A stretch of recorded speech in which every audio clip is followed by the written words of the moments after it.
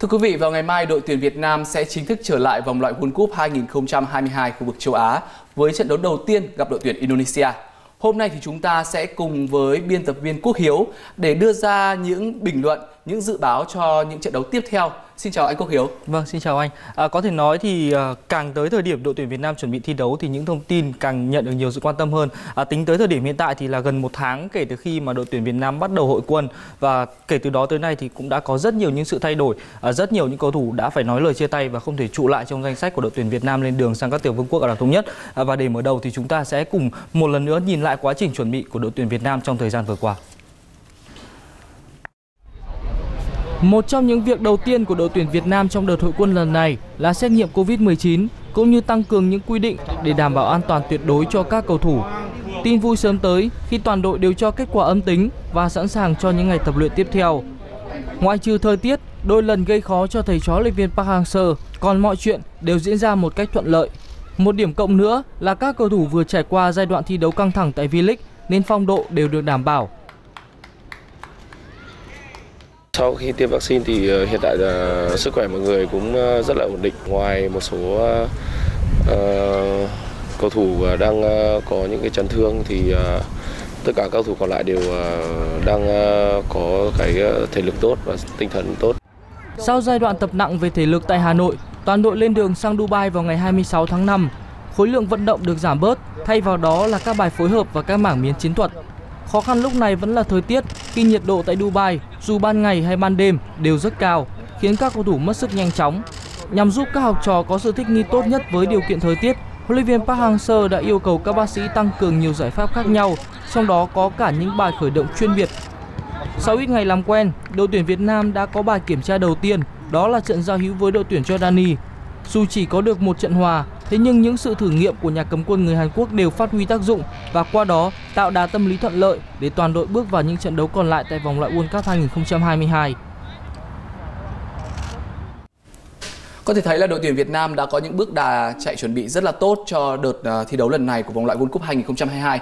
Tuy nhiên thì có một thông tin đáng tiếc mà thời gian vừa qua rất nhiều người hâm mộ cũng cảm thấy rằng hơi nuối tiếc đó là Đặng Văn Lâm, thủ thành xuất sắc nhất của chúng ta đến thời điểm này không thể hội quân cùng đội tuyển.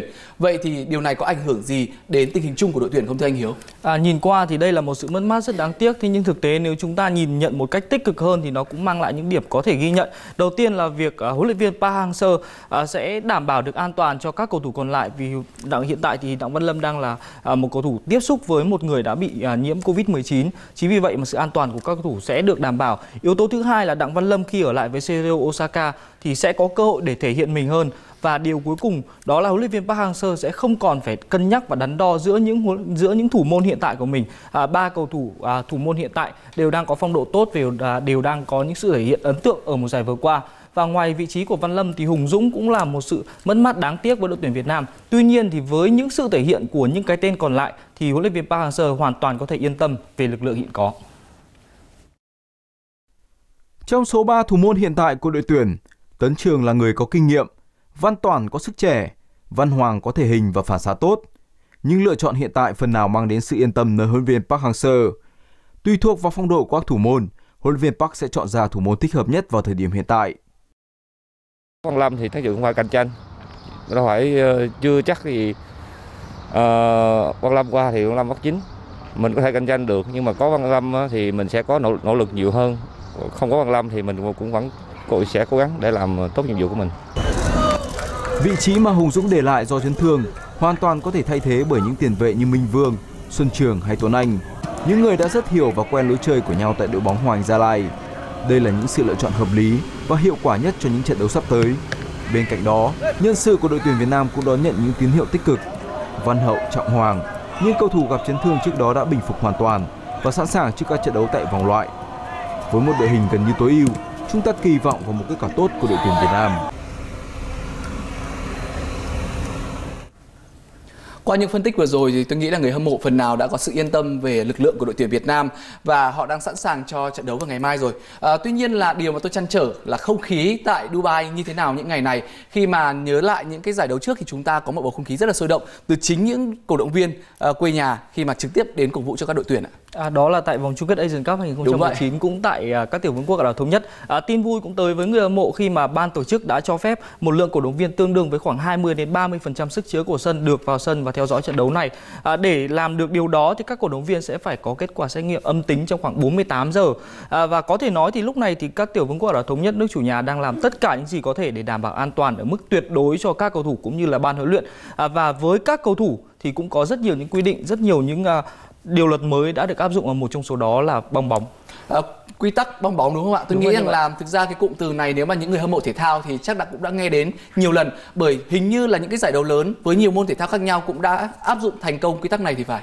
Ờ, F1 là môn thể thao có thể nói là đầu tiên đã đưa ra ý tưởng này. À, bong bóng thì tiếng Anh là bubble và chúng ta có thể hiểu nôm na nghĩa là toàn bộ các cầu thủ, toàn bộ các vận động viên sẽ sinh hoạt trong một bong bóng an toàn và tất cả sẽ chỉ hoạt động ở trong đó không ra ngoài phạm vi bong bóng đó. À, bóng rổ với à, giải bóng rổ nhà nghề Mỹ NBA cũng đã áp dụng à, quy luật bong bóng này ở mùa giải vừa qua. Còn với đội tuyển Việt Nam cũng như là các đội bóng khác tại bảng G thì quy tắc này thậm chí còn được áp dụng nghiêm ngặt hơn dưới sự giám sát của Liên đoàn bóng đá châu Á AFC. Đội tuyển Việt Nam chính thức bước vào thực hiện quy tắc bong bóng từ trưa ngày 3 tháng 6 sau khi di chuyển qua khách sạn do AFC bố trí. Toàn đội ở cùng với ba đội bóng khác là Thái Lan, Indonesia và Malaysia trong một dãy riêng được các chủ nhà, các tiểu vương quốc Ả Rập thống nhất thuê chọn.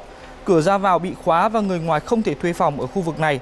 Các thành viên trong đội tuyển chỉ được phép di chuyển từ khách sạn đến sân tập, địa điểm thi đấu và ngược lại. Đặc biệt, việc tiếp xúc với người ngoài bị hạn chế tối đa. Việc di chuyển của đội tuyển cũng được siết lại và giãn cách. Đội tuyển Việt Nam đã bố trí hai chiếc xe buýt cỡ lớn để di chuyển nhằm giữ khoảng cách an toàn cho các cầu thủ. Hai chiếc xe này sẽ được sử dụng riêng cho đội tuyển Việt Nam và không dùng chung với các đội tuyển khác. Ba ngày một lần thì toàn bộ thành viên tham gia giải sẽ xét nghiệm Covid-19 để kịp thời phát hiện những trường hợp dương tính. Thành viên đội nào dương tính sẽ bị cách ly riêng 10 ngày ở cơ sở y tế địa phương và nằm ngoài vùng phủ của bong bóng. Khác với ở Việt Nam thì AFC cho phép những trường hợp tiếp xúc gần có kết quả âm tính được tiếp tục thi đấu, chứ không phải cách ly theo.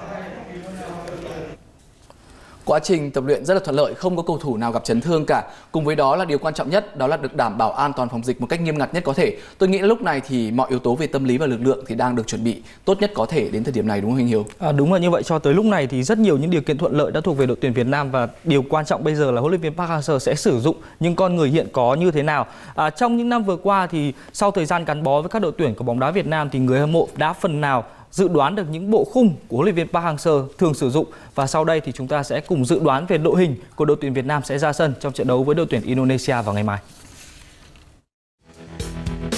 Ở vị trí thủ môn, sau khi Văn Lâm không được triệu tập, huấn luyện viên Park Hang-seo đứng trước ba lựa chọn là Văn Toản, Tấn Trường và Văn Hoàng. Thế nhưng Tấn Trường mới là ứng viên sáng giá nhất khi có nhiều kinh nghiệm. Bộ ba trung vệ của đội tuyển Việt Nam là Duy Mạnh, Quế Ngọc Hải và Bùi Tiến Dũng. Đây là những cầu thủ đã được nhà cầm quân người Hàn Quốc sử dụng trong 5 trận đấu đã qua. Bộ đôi hậu vệ cánh được ưa thích của huấn luyện viên Park Hang-seo là Trọng Hoàng nơi cánh phải và Văn Hậu nơi cánh trái. Cả hai đều đã trở lại sau chấn thương và có những sự thử nghiệm trong các trận đấu tập. Tuy nhiên, do Trọng Hoàng không thể góp mặt vì thẻ phạt, cái tên thay thế rất có thể sẽ là Văn Thanh, người đang có một mùa giải bùng nổ cùng Hoàng Anh Gia Lai. Ở vị trí tiền vệ trung tâm, nhiều khả năng sẽ là cặp tiền vệ Tuấn Anh Xuân Trường.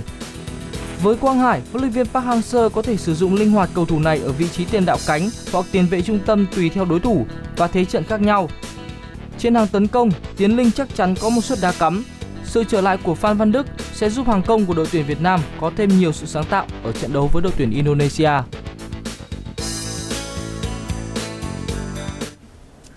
Không biết anh Hiếu cùng nhiều người đánh giá như thế nào còn cá nhân tôi nghĩ rằng đây là đội tuyển thực sự là có đội hình chất lượng bởi vì chúng ta nhìn thấy đó có cả những gương mặt mới nhưng điều quan trọng là vẫn còn đó rất nhiều những cái tên tuổi đã cọ sát rất nhiều những giải đấu quốc tế rồi và hy vọng rằng ngày mai họ sẽ ăn ý với nhau thật là khớp để tạo ra chiến thắng đầu tiên cho đội tuyển Việt Nam. À, đúng là như vậy chỉ cần đội tuyển Việt Nam duy trì được sự tập trung và không quá chủ quan trước đội tuyển Indonesia thì có lẽ là một chiến thắng cũng là điều nằm trong tầm tay của chúng ta và càng tuyệt vời hơn khi mà ngày mai à, trận đấu giữa đội tuyển Việt Nam và đội tuyển Indonesia sẽ được đài truyền hình Việt Nam tường thuật trực tiếp vào lúc 23 giờ 45 phút trên kênh VTV6 và VTV5. Kính mời quý vị chú ý đón xem.